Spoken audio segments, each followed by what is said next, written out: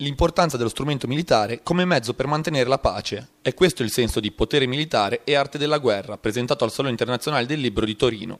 Il volume di Filippo Andreatta, professore ordinario presso il Dipartimento di Scienze Politiche dell'Università di Bologna, ripercorre duemila anni di storia per far capire ai lettori come la guerra sia una costante dell'umanità. Durante l'incontro è intervenuto anche Paolo Mieli, ex direttore del Corriere della Sera, che ha parlato dei conflitti attuali puntando il dito contro l'Occidente.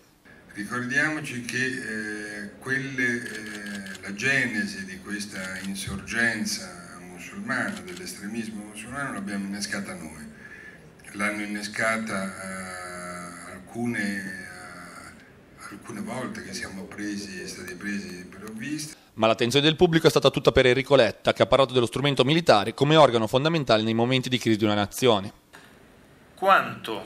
una buona ed efficiente e ben focalizzata e finalizzata organizzazione dello strumento militare serve a un paese a sostituire, serve in funzione sostitutiva quando il paese nella sua organizzazione statuale normale tracolla. L'ex premier ha poi sottolineato l'importanza delle missioni militari italiane per rivalutare l'immagine del nostro paese agli occhi di tutto il mondo. Io sono testimone di aver visto, toccato con mano, sentito il livello di apprezzamento e l'immagine positiva che tutto ciò ha dato nel mondo e che, dicevo, sostitutivo, perché poi l'Italia invece in molti di questi vent'anni ha vissuto momenti in cui l'immagine che davamo non era entusiasmante al resto del mondo. E grazie a questo rovesciamento, mi verrebbe da dire, lo strumento militare usato sempre per fini di portare alla pace, eh, ha finito per essere invece un, una, una, grande bandiera positiva per il nostro paese, è una cosa che, di cui dobbiamo essere consapevoli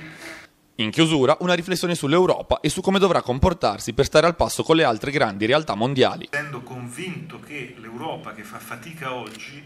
sia un male, perché noi abbiamo bisogno di un'Europa invece che funzioni, funzioni bene, perché solo l'Europa